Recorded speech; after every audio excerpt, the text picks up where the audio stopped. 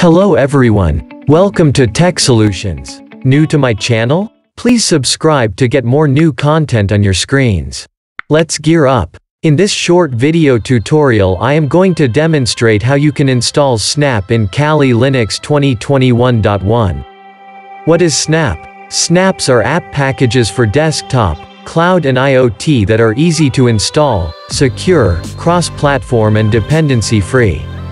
Snaps are discoverable and installable from the Snap Store, the App Store for Linux with an audience of millions. Open Terminal app on your Kali Linux. Get into root by sudo su command as shown on your screens.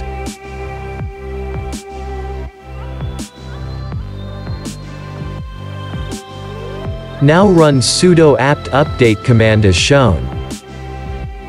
This may take couple of minutes and depends upon the updatable packages and on your Kali Linux version as well.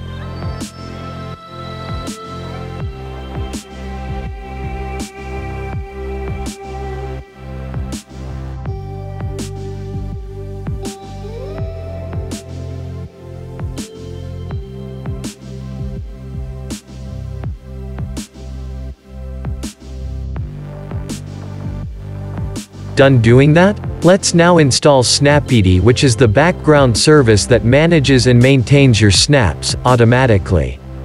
Follow the on-screen command to run it on your PC or laptop.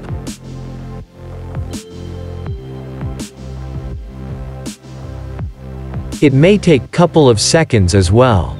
Additionally, enable and start both the Snapd and the Snapd. AppArmor services with the following command.